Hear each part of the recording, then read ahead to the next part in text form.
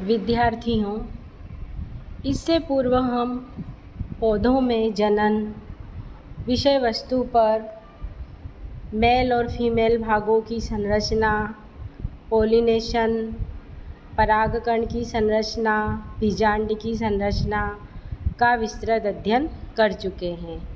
आज हम निषेचन और द्विनिषेचन की प्रक्रिया को इस वीडियो के माध्यम से समझने का प्रयास करते हैं।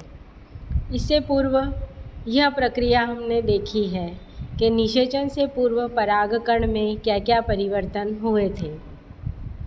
परागकण स्टिग्मा पर पहुँचने के बाद अंकुरित हुआ था।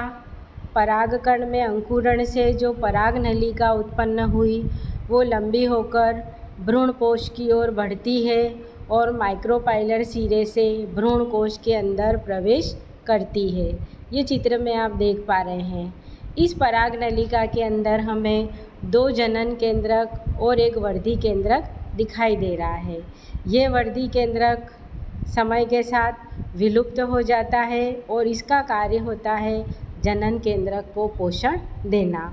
अब ये दोनों जनन केंद्रक और ये बीच में एक और ये पोलर न्यूक्लियाई इनमें क्या क्रिया होती है, ये हम आगे देखने का प्रयत्न करते हैं।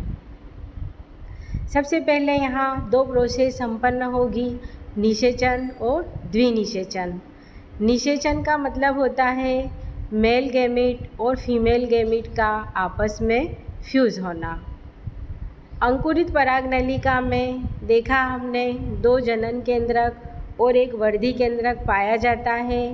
एक जनन केंद्रक एग के साथ फ्यूज़ होता है और डिप्लाइड झाइगोट का निर्माण करता है।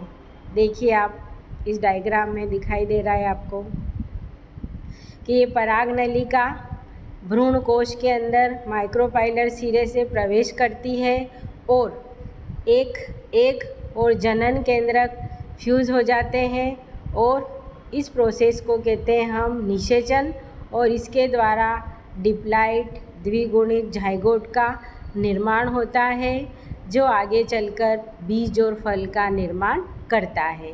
अब देखिए आप अगला, कि ये जो द्वितीय ध्रुवी केंद्रक दिख रहा है, ये दूसरे जनन केंद्रक के साथ फ्यूज़ होता है। ये द्वितीय ध्रुवी केंद्रक प्लस दूसरा जनन केंद्रक फ्यूज़ होते हैं तो इस क्रिया को द्विनिषेचन कहते हैं और द्विनिषेचन के पश्चात भ्रूण कोश का निर्माण होता है। अब ये निषेचन और द्विनिषेचन का क्या महत्व होता है, ये प्रश्न दो नंबर में परीक्षा में पूछा जाता है। देखिए, निषेचन निषेचन के बाद बना झाइगोट आगे चलकर बीज और फल के रूप में विकसित होता है, जबकि द्विनिषेचन के बाद बना ट्रिप्लाइड न्यूक्लियस भ्रूणपोष एंडोस्पर्म में परिवर्तित होता है, जिसे हम फलों के गुदे के नाम से जानते हैं।